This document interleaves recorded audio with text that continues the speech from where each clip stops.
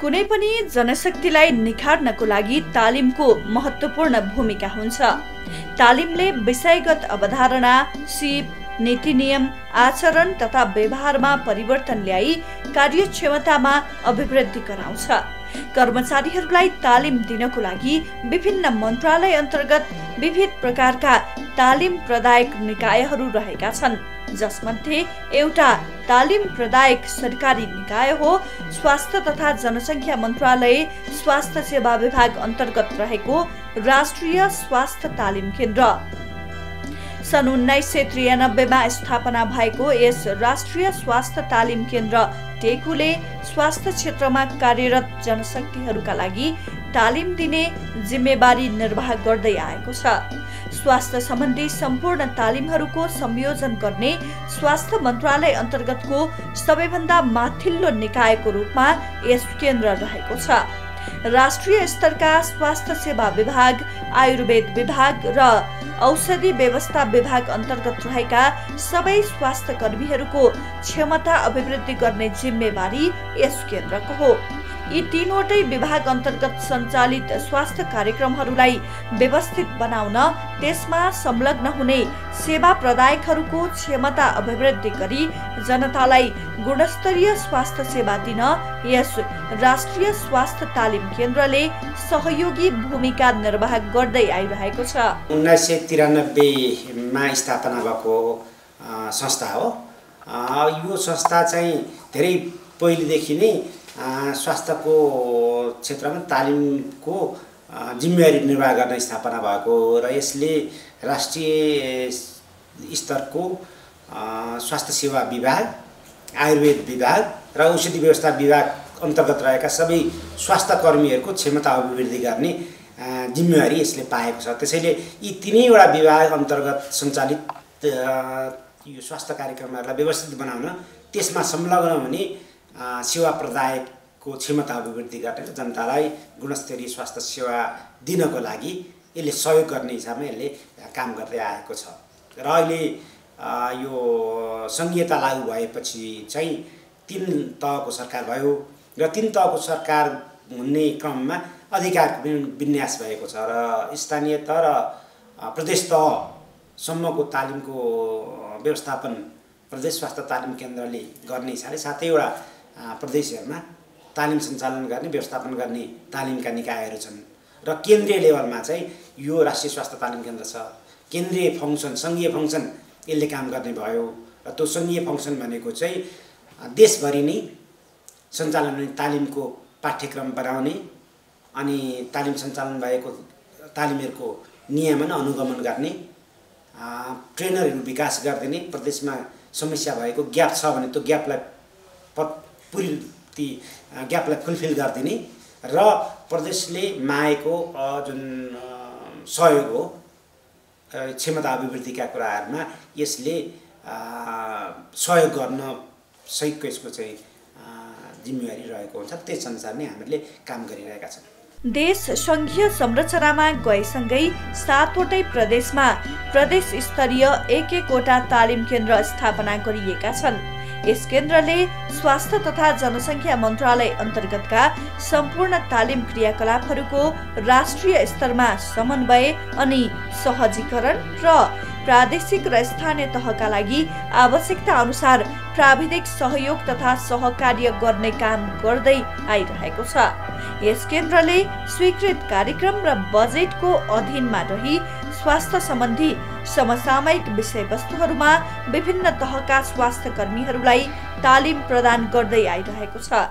यो सेवा प्रदायकहरूलाई ता सञ्चालन गर्ने तालिमहरू चाहिँ प्रदेश धेरै जसो प्रदेश स्वास्थ्य तालिम केन्द्रले गर्छ। तर त्यो प्रदेशमा बाट सञ्चालन हुने जुन सेवा प्रदायकहरू सेवाग्राही जनतालाई जुन सेवा दिने मान्छेहरूलाई यो सिपयुक्त सेवा दिनु पऱ्यो त्यो तालिम प्रदेशले दिन्छ भने त्यो प्रदेशले गुणस्तरीय तालिम दियोस् र जनशक्तिलाई चाहिँ यो क्षमतायुक्त बनाओस् भन्ने हिसाबको काम ट्रेनरको विकास गरिदिने प्रदेशको मा हुने तालिमको व्यवस्थापनमा सहयोग गर्ने प्रदेशले सञ्चालन गर्ने तालिमको नियमन गर्ने तालिम साइटहरू छन् विभिन्न हाम्रो अहिले देशमा त्रिसाठीवटा तालिम साइट छन्।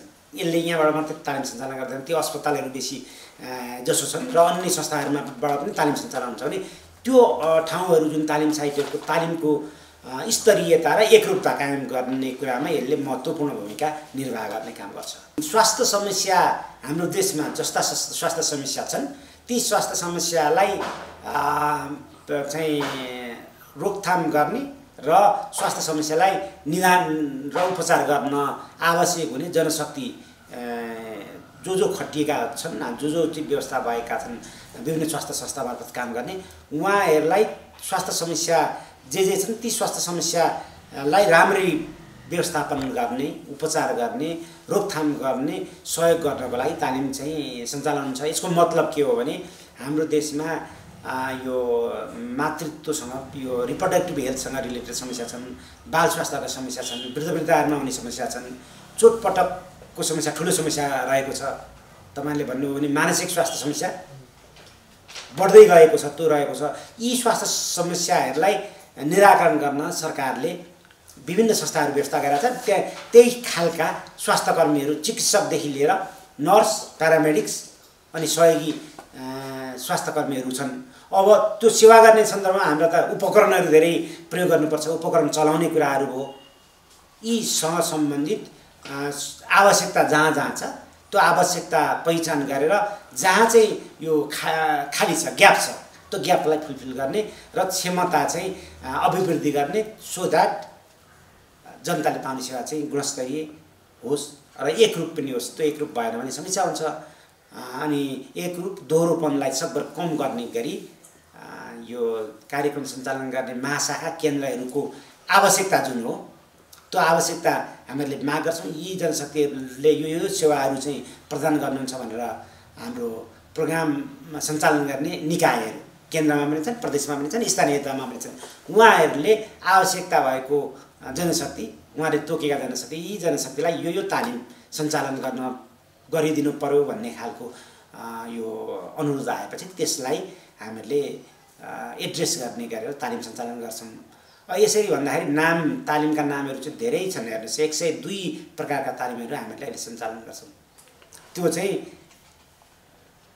तल सानो स्तरदेखि लिएर माथिल्लो स्तरसम्मलाई लक्षित गरेर अस्पतालदेखि लिएर जनस्वास्थ्यसम्म सञ्चालन हुने कार्यक्रमलाई लक्षित गरेर तालिमहरू सञ्चालन राष्ट्रिय स्वास्थ्य नीति अनुसार सबै तहका स्वास्थ्य कर्मीहरूलाई गुणस्तरीय स्वास्थ्य सेवा प्रदान गर्न सक्षम बनाउनको लागि आवश्यक सम्पूर्ण तालिमहरू प्रदान गर्दै आएको छ यस राष्ट्रिय स्वास्थ्य तालिम केन्द्रले। यस केन्द्रले गुणस्तरीय स्वास्थ्य सेवाका लागि विभिन्न तहमा तालिम गर्ने संस्थाहरूको क्षमता विकास गर्ने स्वास्थ्य तालिमहरूको गुणस्तरीयता सुनिश्चित गर्ने सक्षम स्वास्थ्य तालिम प्रणालीको विकास गर्ने काम गर्दै आइरहेको छ। यस केन्द्रले राष्ट्रिय प्रदेश जिल्ला र समुदाय स्तरमा तालिमको मूल्याङ्कन प्रशिक्षण अनुगमन र अनुसन्धान गरी सम्पूर्ण स्वास्थ्य तालिम गतिविधिहरूको निरीक्षण गर्दै आएको छ। देशको जुनसुकै संस्थाबाट तालिम सञ्चालन भएको भए पनि हामीले चाहिँ प्रमाणपत्र दिने तालिम हामीले चाहिँ प्रमाणीकरण गर्ने खालको तालिम चाहिँ एकै खालको हुन्छ। यसरी हामीले व्यवस्थापन गर्छौँ। त्यो एनजिओले दियोस् अथवा प्राइभेट सेक्टरले दियोस् अथवा सरकारी संस्थाले हामीले हाम्रो राष्ट्रिय स्वास्थ्य तालिम केन्द्र अथवा प्रदेश स्वास्थ्य तालिम केन्द्रले सञ्चालन गरेका तालिमको स्तरीयता एउटै हुन्छ। यसरी तालिम केन्द्रहरू सञ्चालन भइरहेका छन् र अहिले विगत तिन चार वर्षदेखि कोभिड नाइन्टिनसँग सम्बन्धित नियन्त्रण उपचार व्यवस्थापनमा लक्षित गरेर कोभिड लागेका बिरामीहरूको खोज पडतालसँग सम्बन्धित निदानसँग सम्बन्धित उपचारसँग सम्बन्धित कार्यक्रमहरू पनि हामीले सञ्चालन गरेका छौँ। स्वास्थ्य कर्मीहरूको कार्यकुशलता वृद्धि गर्न र वृत्ति विकासका अवसरका लागि तालिम प्रदान गर्दै आइरहेको छ यस केन्द्रले। यस केन्द्रले दिँदै आएका प्रभावकारी तालिमहरूबाट स्वास्थ्य मन्त्रालय अन्तर्गतका निकायका कर्मचारीहरू लाभान्वित बन्न पुगेका छन्। प्रविधि चाहिँ हामीहरूले स्वास्थ्य कर्मीहरूलाई बोलाएर हामीहरूले व्यक्तिगत इन पर्सन भन्छौँ इङ्ग्लिसमा। इन पर्सन अगाडि राखेर त्यो क्लासरुम बेसमा पनि सञ्चालन गर्छौँ क्लासरुम बेसमा यो स्वास्थ्य समस्या जस्तो आउँछ त्यस्तो देख्ने त्यो अभ्यास गराएर त्यसलाई सिमुलेसन बेस एक्सर्साइजबाट पनि गर्छौँ कतिपय तालिमहरू हामीहरूले चाहिँ भर्चुअल पनि दिएका छौँ स्वास्थ्य कर्मीहरू आफ्नो कार्यस्थलमा हुन्छन्। तालिम चाहिँ यहाँबाट देखाएर कार्यस्थलमा पनि त्यो उहाँहरूले अभ्यास गर्ने मोडलहरू म्यानिकिनहरू हुन्छन् भने यहाँबाट तालिममा प्रदर्शन गरेर पनि उहाँलाई सिकाउने कामहरू गर्छौँ अब यो मिक्स खालको पनि हुन्छ। कतिपयलाई हामीहरूले डकुमेन्ट पठाइदिन्छौँ अनलाइन उहाँले पढेर आउनुहुन्छ र यहाँ यो तालिमको जुन अवधि हो लामो अवधिलाई घटात इन पर्सन यहाँ बोलाएर काम तालिम दिने चाहिँ यो सङ्ख्या कम गर्ने पनि गर्छौँ अर्को चाहिँ अब अहिले अन्तर्राष्ट्रिय स्तरमा चलाएका तालिमहरू यो हस्पिटल प्रिपेयरनेस फर इमर्जेन्सी भन्ने इमर्जेन्सी अवस्थामा अस्पतालले गर्नुपर्ने सेवालाई यो स्ट्रेन्थेन गर्न सुदृढीकरण गर्नलाई हो भन्ने ट्रेनिङ हामीले सञ्चालन गरेका छौँ। र अब अहिले एउटा चाहिँ यो महामारी अवस्थामा महामारीको व्यवस्थापनलाई लक्षित गरेर तिन महिनाको तालिमको प्याकेज बनाउँदैछौँ र यो निकट भविष्यमा तिन महिनाभित्रै आर्थिक वर्षमा हामीले एक ब्याज तालिम सातैवटा प्रदेशलाई समावेश गरेर सञ्चालन गर्दैछौँ र यसलाई नियमित रूपमा हामीले तालिम सञ्चालन गर्छौँ। सातैवटा प्रदेशमा आवश्यकता अनुसार तालिम दिएपछि तालिम दिएका जनशक्तिको क्षमता चाहिँ रिटेन भइराखोस् उहाँहरूले त्यो प्रयोग गरिराख्नुहोस् त्यसलाई पनि हामीले ध्यान दिनुपर्ने हुन्छ। विश्व मानसिक स्वास्थ्य दिवस यस वर्ष पनि अक्टोबर दस तारिकका दिन मानसिक स्वास्थ्य सम्बन्धी विभिन्न जनचेतनामूलक कार्यक्रम सञ्चालन गरी नेपालमा पनि मनाइएको छ। विश्व मानसिक स्वास्थ्य दिवसको अवसरमा यस केन्द्र तथा सरकारवाला निकायको समन्वय र सहकार्यमा काठमाडौँमा भएको एक कार्यक्रममा सरकारवालाहरूले मानसिक स्वास्थ्यको महत्त्वलाई जनसमक्ष उजागर गर्दै यसलाई राष्ट्रिय प्राथमिकताको विषय बनाउनु पर्नेमा जोड दिएका थिए। सबैका निम्ति मानसिक सुस्वास्थ्यको व्यवस्था नै राष्ट्रिय प्राथमिकता बन्नुपर्ने सरकारवालाहरूको भनाइ थियो। प्रत्येक वर्ष अक्टोबर दस तारिकका दिन विश्वभरि नै मानसिक स्वास्थ्य सम्बन्धी मुद्दाहरू समस्याहरू अनि उपचारात्मक र प्रतिरोधात्मक तरिकाहरूबारे चेतना जागृत गर्दै विश्व मानसिक स्वास्थ्य दिवस मनाउने गरिन्छ। यो तालिम चाहिँ सेवा दिनको लागि तालिम दिने हो। सेवा हाम्रा देशका विभिन्न आउटलेट मार्फत सरकारी गैर सरकारी एनजिओ अनि प्राइभेट संस्थाबाट पनि हामीले सेवा दिइराखेका छौँ। त्यसमा सेवा दिने जनशक्तिहरूले राम्रै काम गर्नुभयो र तालिम चाहिँ लिएर काम गर्नुभयो भने काम गरेर पनि सिक्ने कुराहरू हुन्छ। अब यसमा प्रदेशको सङ्घको स्थानीय तहको समन्वय र तालिम चाहिँ तालिम सेवा दिने मान्छेलाई लक्षित गरेर दिन सकियो। कतिपय बेलामा हामीले तालिम दिएका हुन्छौँ तर तालिम दिएका व्यक्तिले सेवा दिन दिँदैन। भने त्यसमा त किनभने त्यत्रो रिसोर्स खर्च भएको हुन्छ उसले जनतालाई सेवा दिँदैन। स्रोत चाहिँ ख खर्च हुन्छ तर सेवा पाउँदैन। यी कुराहरूलाई तालमेल मिलाउन एउटा छ। अर्को कुरा चाहिँ एकरूपता र दोहोरोपन कतिपय ठाउँमा एउटै मान्छेले दुईपटक तिनपटक तालिम लिएको विभिन्न खालका प्याकेजहरू त्यसैले एक द्वारबाट चाहिँ तालिमको व्यवस्थापनको कुरा पनि एउटा चुनौतीको कुरा छ।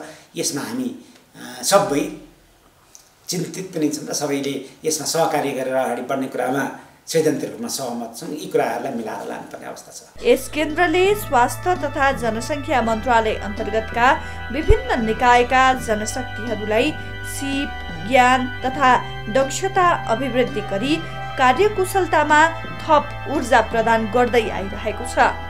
आगामी दिनमा पनि आफ्नो उद्देश्य र लक्ष्य प्राप्तिमा सफल बनिरहोस्। यस राष्ट्रिय स्वास्थ्य तालिम केन्द्र टेकु।